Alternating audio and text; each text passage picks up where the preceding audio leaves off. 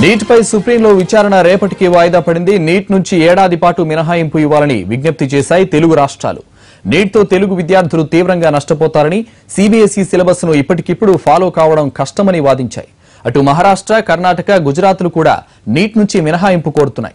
దీనిపై మరిన్ని వివరాలు మా ప్రతినిధి సురేష్ అందిస్తారు. సురేష్ నీటిపై సుప్రీంకోర్టులో ఎలాంటి వాదనలు జరిగాయి?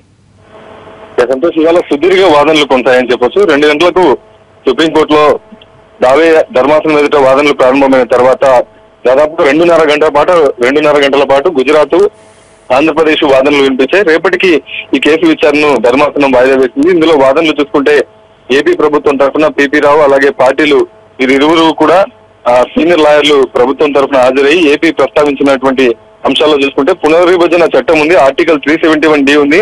అలాగే విద్యార్థులంతా కూడా ఈ రెండు రాష్ట్రాల్లో తెలుగు మీడియం చదువుకున్నటువంటి విద్యార్థులు సిబిఎస్ఈ సిలబస్ విషయం పైన వీరికి అవగాహన లేదు. ఒక ఏడాది కాకుండా వచ్చే ఏడాది వరకు మినహాయింపు ఇవ్వాలని చెప్పి ధర్మాసనం ఎదుట ఈ రోజు వాదనలు వినిపించినటువంటి పరిస్థితి. సేమ్ ఇదే ఈ రోజు ముందుగా గుజరాత్కు సంబంధించినటువంటి వాదనలు తొలిగా ప్రారంభమయ్యాయి. అరవై వేల మంది విద్యార్థులు ఉన్న గుజరాత్లో గుజరాతీ లాంగ్వేజ్లో చదువుకున్నటువంటి విద్యార్థులు సిబిఎస్ఈ సిలబస్ వల్ల ప్రాబ్లం అవుతుందనే విషయాన్ని ధర్మాసనం దృష్టికి తీసుకొచ్చారు. అదే కాకుండా ఈ ఏడాదికి గుజరాత్ రాష్ట్రానికి మినాయింపు ఇవ్వాలని చెప్పి వారు కోరడం జరిగింది. భాష విషయంలో సమస్యలు ఉన్నాయి కాబట్టి విద్యార్థులు సిద్ధం అవడానికి సమయం పడుతుంది. ఈ రాష్ట్రంలో ఉన్నటువంటి విద్యార్థులందరినీ కూడా వచ్చే ఏడాదికి ప్రిపేరేషన్ ప్రిపరేషన్ చేసుకోవడానికి సమయం ఇస్తే మంచిదనేటువంటి అభ్య అభ్యంతరాలను రాజ్య టు కపిల్ సిబాల్ ఈ రోజు ఉంచడం జరిగింది. ఇటు ప్రైవేట్ మెడికల్ కాలేజీల తరఫున కూడా కపిల్ సిబాల్ వాదనలు వినిపించారు. మొత్తంగా ఏపీ ఏపీ వాదనలు ముగిశాయి. ఇటు గుజరాత్ వాదనలు ముగిశాయి. Day before yesterday Karnataka Maharashtra ఎక్కడక Tamil Nadu వాదనలు కూడా ముగిశాయి. అయితే ఇంకా తెలంగాణకు సంబంధించినటువంటి వాదనలు కొనసాగాల్సి ఉంది.